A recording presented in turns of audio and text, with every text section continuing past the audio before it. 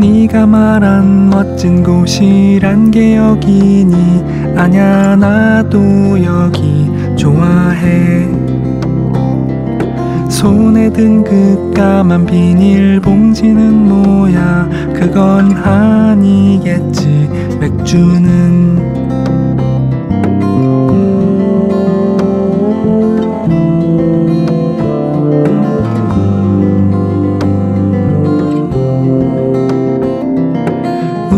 마치 견우직녀 같진 않냐고 우린 함께 올라왔잖아.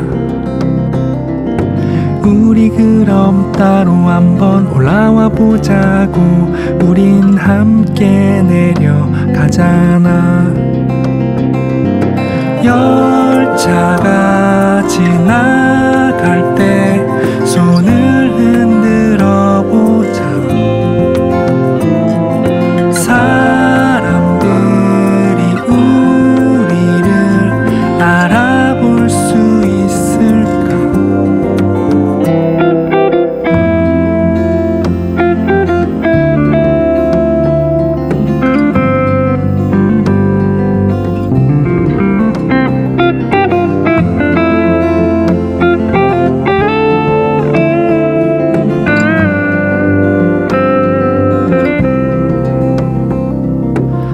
하나쯤 없는 여긴 또 뭐가 다를까? 그건 의미조차 없을까?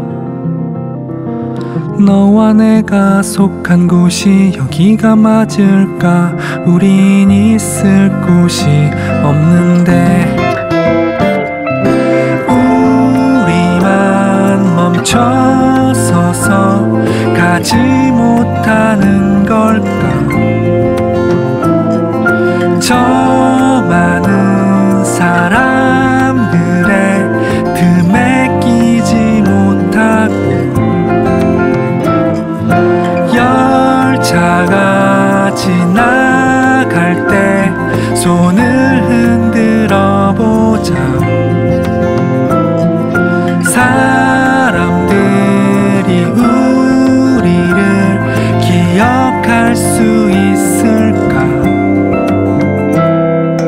또 하나 늘었네 우리 함께한 일이 우린 점점 무거워지네.